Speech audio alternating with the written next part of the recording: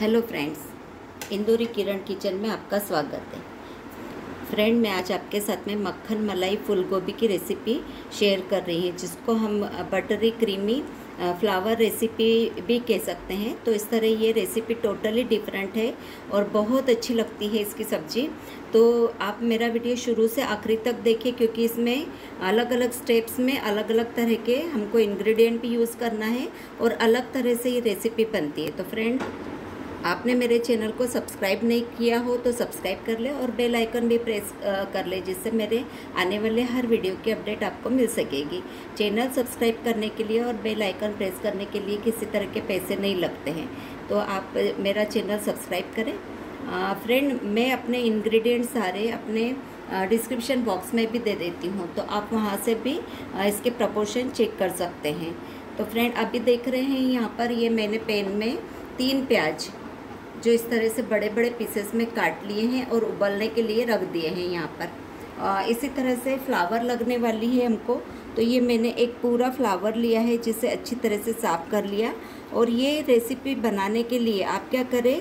ताज़ा वाला फ्लावर ले। ये आप देख सकते हैं, इसे मैंने आधे घंटे पहले पानी में उकलते हुए पानी में से इस तरह से डुबा के रख दिया था जिसमें मैंने खाने का सोडा मिला दिया।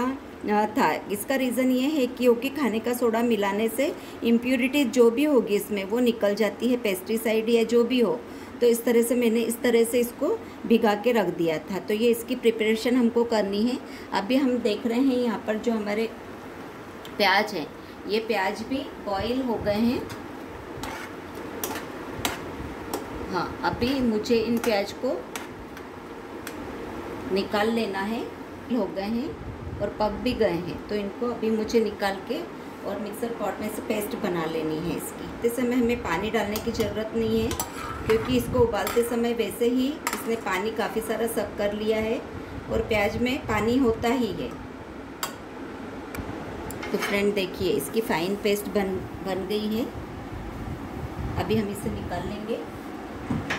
उबालने से क्या होता है, इसमें जो स्मेल होती है या कच्चापन होता है तो वो निकल जाता है और इसकी टेस्ट अच्छी आती है। अभी मैंने यहाँ पर हरा धनिया लिया है, एक बॉल हरा धनिया है। और ये तीन हरी मिर्च ली है। इसकी भी मुझे पेस्ट तैयार कर लेनी है।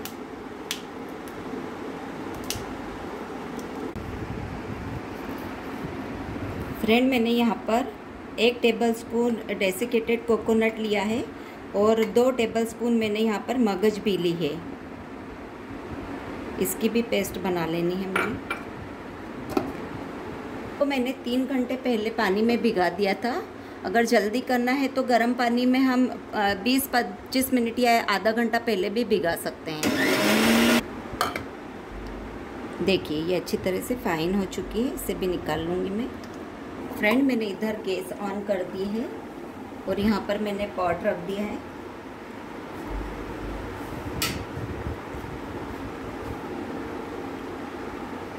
यहाँ पर मैं तीन टेबल स्पून के करीब तेल ऑयल तेल ऐड करूँगी। और ये बटर ऐड कर दूँगी। ये बटर होममेड है।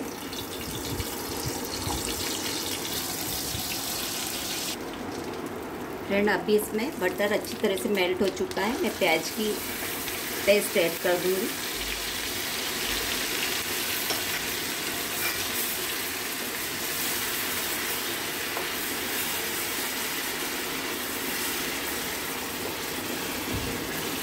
ये अच्छी तरह से पकी हुई है, इसलिए हमको ज़्यादा पकाने की ज़रूरत नहीं है इसे। और साथ ही मैंने हरी मिर्च, हरे धनिए की पेस्ट ली है, उसे भी ऐड कर दूँगी फ्रेंड ये जब तक पक रहा है, तब तक मैं यहाँ पर, मैंने एक टेबलस्पून खसखस ली थी और 15 से 20 काजू लिए हुए हैं। उसकी पेस्ट बना लेनी है मुझे। काजू और जो खसखस ली, इसको भी मैंने तीन घंटे पहले भिगाने रख दिया था, क्योंकि सभी मैंने साथ में ही भिगाने के लिए रखे थे तो अभी मुझे ये ऐड कर देना है। ये प्यूरी ऐड कर दी है मैंने। और साथ में मगज भी वाली पेस्ट भी मुझे यहाँ पर ऐड कर देनी है। इसे थोड़ा पका लेंगे, सरफेस पे तेल आने तक। सरफेस पे ऑयल आ गया है और बटर आ गया है। अभी हमें बाकी के इंग्रेडिएंट ऐड कर लेना है।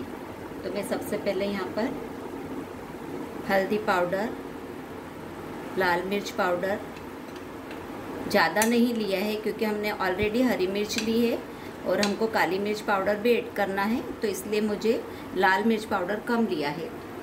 ये काली मिर्च पाउडर, गरम मसाला, धनिया पाउडर, जीरा पाउडर। ये यहाँ पर मैंने अदरक का पाउडर लिया हुआ है। और ये लहसुन का है। साथ में मैंने यहाँ पर आधे जायफल का पाउडर भी लिया है और हींग ली है। तो ये सारे मसाले मैं यहाँ पर ऐड कर दूँगी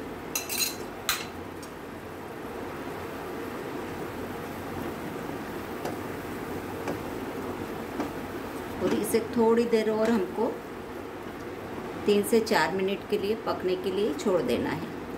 तो मैं यहाँ पानी ऐड किया है मैंने, दो टेबल स्पून के करीब।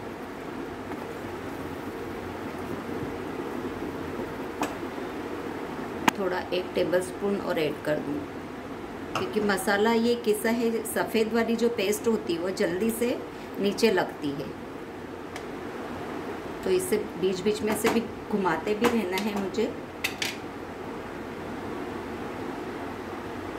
थोड़ी लो से थोड़ी हाई की है स्पीड मैंने फ्रेंड मुझे यहाँ पर नमक ऐड कर देना है। अकॉर्डिंग टू टेस्ट है।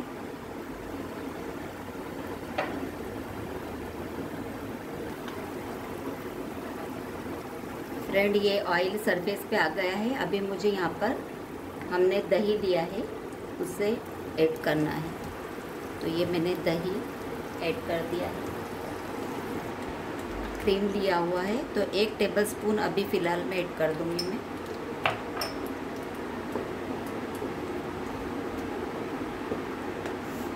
बहुत बढ़िया खुशबू आ रही है।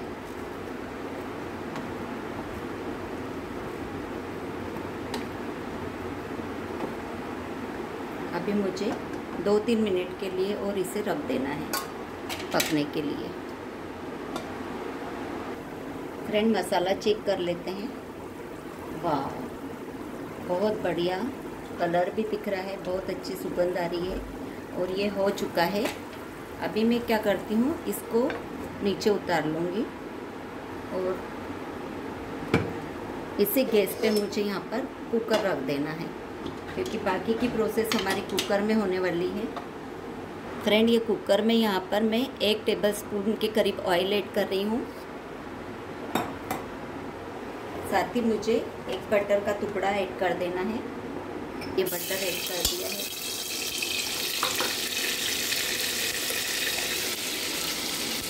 मसाले ऐड करना है तो मैंने एक स्टार फूल दालचीनी का एक इंच का टुकड़ा, एक मसाला इलायची, पाँच से छः लौंग और चार इलायची ये ऐड कर दी है।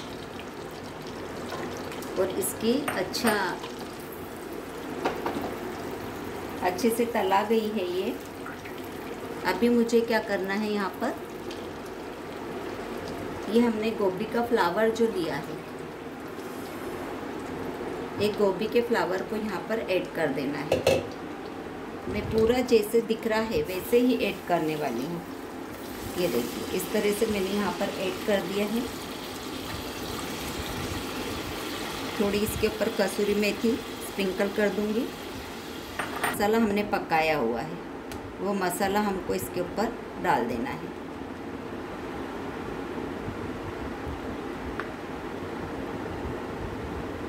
ये इस तरह से इसमें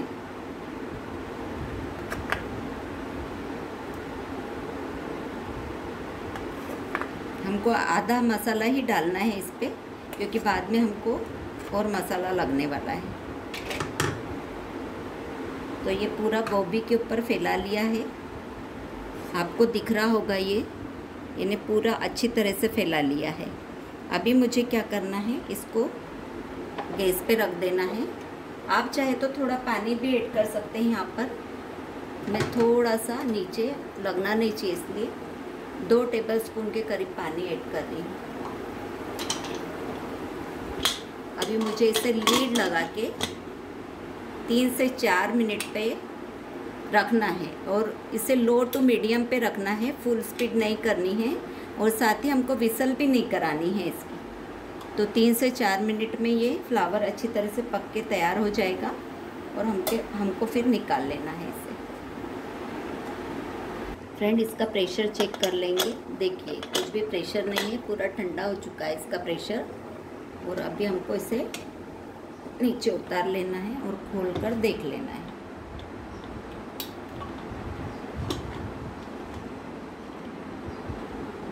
वाह।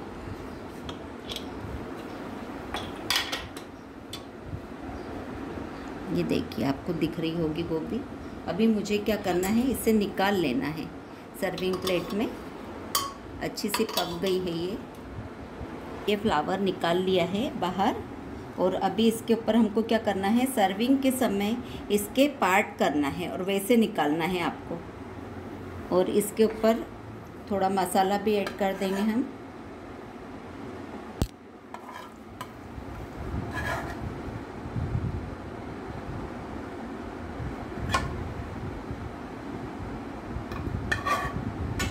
और मुझे थोड़ा क्रीम ऐड कर देना। है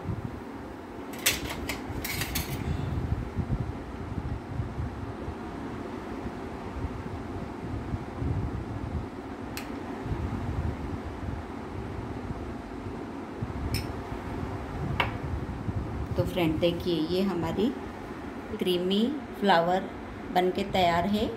आप इसे खाइए, खिलाइए, सर्व कीजिए और बहुत ही टेस्टी बनती है। इतनी ज़्यादा टेस्टी सब्ज़ी है कि आपको इसे बार बार बनाने का मन करेगा और आप बार बार बनाएँगे। बस निकालते समय थोड़ा सा ध्यान रखना पड़ता है तो आप बड़े बर्तन हो चुकी। मैंने अपनी सबसे पहली जो रेसिपी अपलोड की थी, वो भी मसाला गोभी के ऊपर ही थी और वो भी बहुत पसंद की थी लोगों ने। तो आप इस रेसिपी को पसंद करें लाइक करें शेयर करें, मेरे चैनल को सब्सक्राइब करें बेल आइकन ज़रूर प्रेस करें और खुश रहे, प्रसन्न रहे, स्वस्थ रहे। थैंक यू धन्यवाद।